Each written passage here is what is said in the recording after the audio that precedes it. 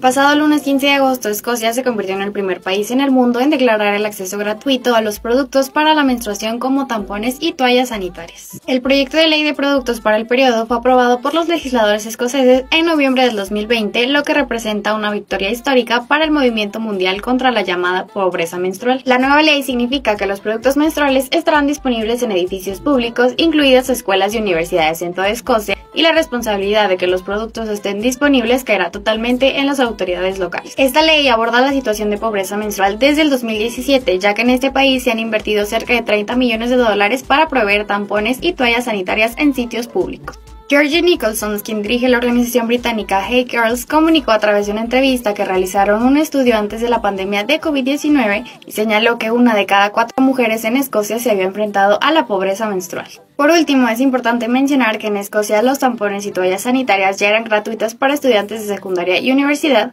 pero ahora que fue puesto en marcha el marco legislativo se amplía la cobertura a todas las mujeres del país.